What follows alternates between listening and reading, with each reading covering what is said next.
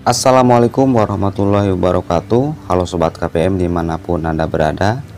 Nah di kesempatan kali ini saya akan memberikan informasi tentang daftar nama bantuan yang masih ataupun positif tetap ada di tahun 2023 mendatang. Nah baiklah teman-teman kita langsung saja ke informasinya.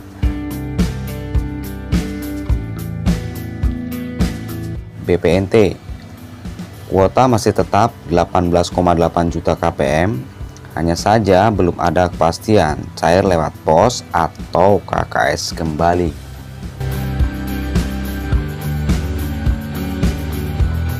Bantuan PKH yaitu sasarannya adalah masih sama kepada 10 juta KPM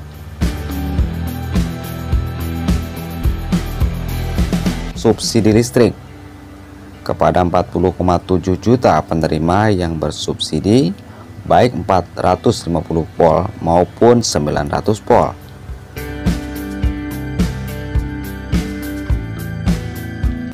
Peningkatan kualitas kerja sebagai bantuan pengganti kartu prakerja dengan sasaran 1,5 juta penerima sebesar 3,5 juta rupiah per penerima nantinya.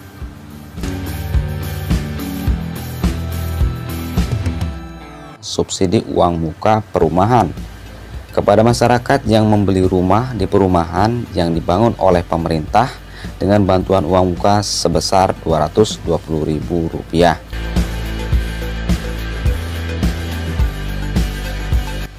Kemudian yang kelima adalah subsidi gas LPG 3 kg dengan sasaran 8 juta penerima.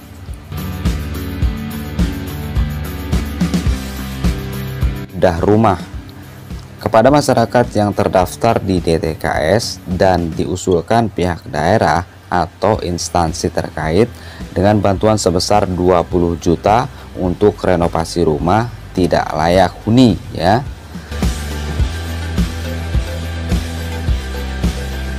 Bantuan atensi permakanan kepada lansia usia 75 tahun ke atas serta disabilitas berat yang tidak memiliki keluarga.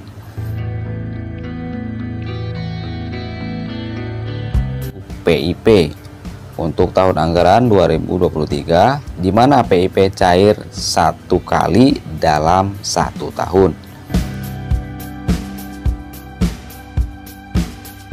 Atensi anak yatim kepada satu juta anak dengan nominal 200.000 per bulan.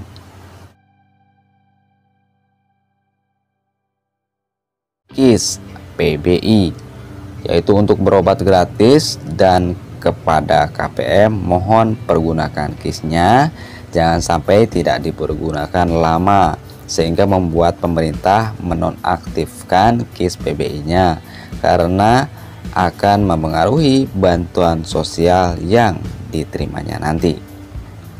Demikian ada 11 bantuan yang tetap masih akan ada nanti di tahun 2023.